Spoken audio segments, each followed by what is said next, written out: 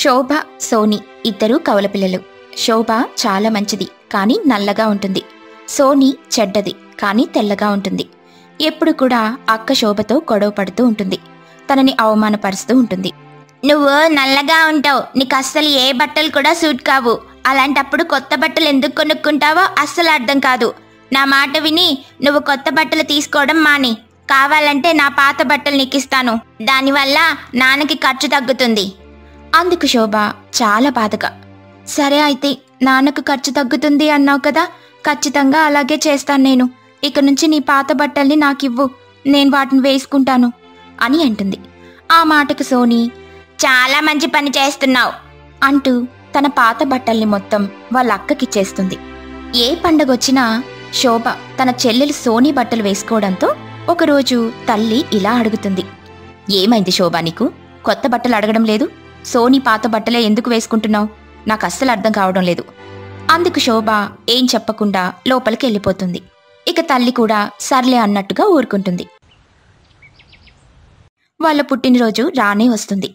అప్పుడు తండ్రి ఇద్దరు పిల్లల కోసం బంగారు మరియు వెండి వస్త్రాలని తీసుకొస్తాడు. మీ ఇద్దరికి నచ్చినవి నచ్చినట్టుగా తీసుకోండి అని అంటాడు.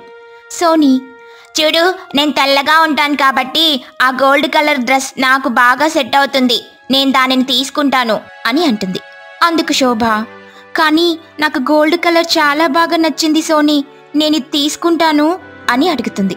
అందుకు సోనీ లేదు లేదు ఇది నాకే కావాలి అని సోనీ అడిగి తీసుకుంటుంది. అందుకు తన తల్లి సోనీ ఎప్పుడు నువ్వు కొత్త బట్టలు వేసుకుని తిరుగుతూ ఉంటావు కదా?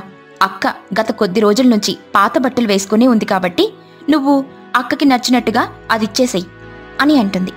అందుకు తను సరేలే అని తన చేతిలో ఉండేది విసురుగా పెట్టేసి వెళ్ళిపోతుంది. ఇక ఇద్దరూ కూడా స్నానం చేసి బట్టలు వేసుకుంటారు. అద్దం ముందు ముస్తాబవుతూ ఉంటారు. ఇంతలో పెద్దగా సోని అరుస్తుంది. తల్లి హడావడిగా ఏమైంది అంటూ అక్కడికొస్తుంది. సోని ఏడుస్తూ అమ్మా ఆ అద్దాన్ని చూడు నా ముఖం చాలా నల్లగా ఉంది. ఏమైంది నాకు? నేను ఎందుకు ఇలా కనబడుతున్నాను? అంటూ ఏడుస్తూ ఉంటుంది. తల్లి కూడా చాలా ఆశ్చర్యపోతూ అలా చూస్తూ ఉంటుంది. ఇంతలో శోభ. అమ్మా ఇలా చూడు నా ముఖం చాలా అందంగా ఉంది. ఈ అద్దం ఎందుకు ఇలా చూపిస్తుంది? అని అడుగుతుంది. ఇక తల్లి కూడా తన వైపు చూసి ఇదేంటి? ఇలా చూపిస్తుంది. నాకేం అర్థం కావడం లేదు. అని కంగారుగా ఏమండి? త్వరగా ఇలా రండి. త్వరగా రండి.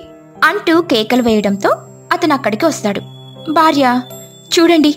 అద్దంలో చూసుకుంటే వాళ్ళని వాళ్ళని చూడండి. అద్దంలో ఎలా కనబడుతున్నారు అని చూపిస్తుంది.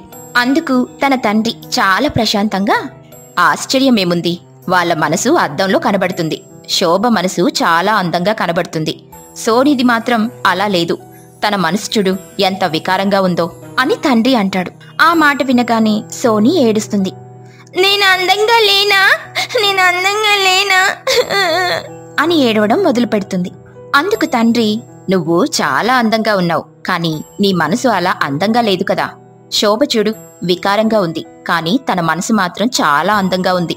బాహ్య సౌందర్యాన్ని చూస్తున్నావు కానీ లోపల ఉన్న అంతర్య సౌందర్యాన్ని చూడడం లేదు నువ్వు. మీ అక్క వాళ్ళ స్నేహితులు ఇంటికొచ్చినప్పుడు మీ అక్క చాలా బాగా వారిని పలకరిస్తూ మాట్లాడుతుంది. నీ గురించి చాలా గొప్పగా మాట్లాడుతుంది. వాళ్ళకి నిన్ను పరిచయం చేస్తుంది.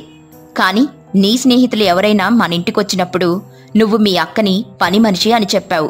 మీరిద్దరూ కవల పిల్లలైనా రంగు మాత్రమే మార్పు అని మేమనుకున్నాం. కానీ ఆ రంగు మార్పు అనేది మనసులో ఉందని మాకు ఈ రోజు అర్థమైంది. ఆ మాటలకు సోనీ చాలా బాధపడుతుంది. తండ్రి అక్కడి నుంచి వెళ్తూ మీ అక్కని అక్కలాగా చూడడం మొదలు పెడితే నువ్వు కూడా చాలా అందంగా కనబడతావు అని చెప్పి అక్కడి నుంచి వెళ్ళిపోతాడు. తల్లి కూడా ఏం మాట్లాడకుండా అతనితో పాటే వచ్చేస్తుంది. తను చాలా ఆశ్చర్యపోతూ ఏంటండి? అంత ఖచ్చితంగా మాట్లాడేశారు? మీకు కొంచెం కూడా భయం కలగలేదా? వాళ్ళ రూపాల్ని చూసి? భయం ఎందుకు? ఇదంతా ఒక స్వామీజీ మహిమ. సోని శోభని ఎంతగా అవమానపరుస్తుందో ఎన్ని సూటిపోటు మాటలంటుందో నేనన్నీ గమనిస్తూనే ఉన్నాను. కానీ వీళ్ళకి ఎలా చెప్తే అర్థమవుతుందో అర్థం కాక సతమతం అవుతున్న సమయంలో ఒక స్వామీజీ కనిపించాడు. అసలతను ఎక్కడి నుండి వచ్చాడో నాకు తెలియదు కానీ నాకు అస్సలు అర్థం కాలేదు కానీ ఉన్నది ఉన్నట్లు చెప్పాడు. చింతవలదు పుత్ర చిన్నపిల్లలు తెలిసి తెలియక తప్పు చేస్తూనే ఉంటారు. తప్పనిసరి దాల్చిన బాధ్యత తల్లిదండ్రులుగా మనకుంది. ఇదిగో ఈ బట్టలు ఎవరి సొంతమై ఉందో వాళ్ళకే వెళ్తాయి.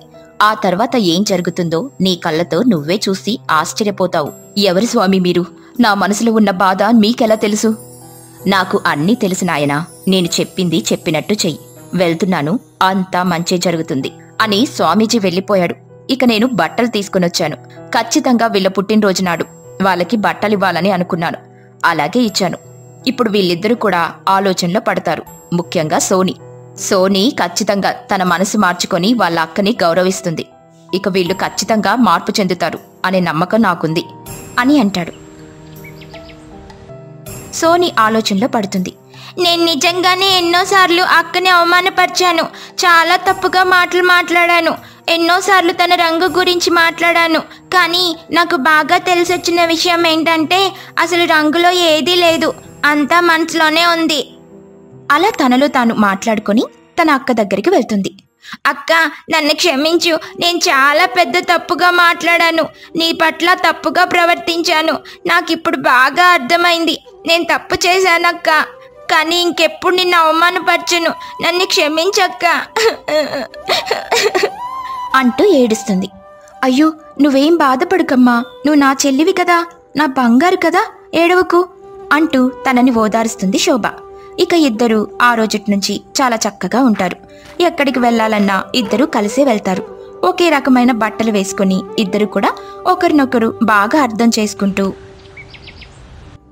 వాళ్ళిద్దరిని చూసి తల్లిదండ్రులిద్దరూ కూడా ఎంతో సంతోషపడతారు. వాళ్ళిద్దరూ మళ్ళీ ఆ దుస్తుల్ని ధరించారు. ఇద్దరు మనసు కూడా చాలా చాలా స్వచ్ఛంగా అందంగా ఉంటాయి. ఇక ఇద్దరు చాలా అందంగా కనబడతారు. దాన్ని చూసి అక్క చెల్లెళ్ళిద్దరూ కూడా సంతోషపడుతూ ఒకరినొకరు కౌగిలించుకున్నారు.